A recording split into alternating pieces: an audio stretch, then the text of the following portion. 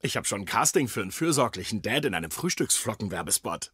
Hey, Dad. Ja, Kumpel? Als du ein Kind warst, was wolltest du werden, wenn du groß bist? Nun ja, ich wollte Rockstar werden. Und warum bist du keiner geworden? Deinetwegen, Kumpel. Ich habe ein Mädchen in einem Handyladen angelächelt und jetzt sitze ich hier fest und esse mit dem jungen Frühstücksflocken zum Abendessen. Für mich wirst du immer ein Rockstar sein, Dad. Du hast mein Leben versaut. Ich gehe ins Bett.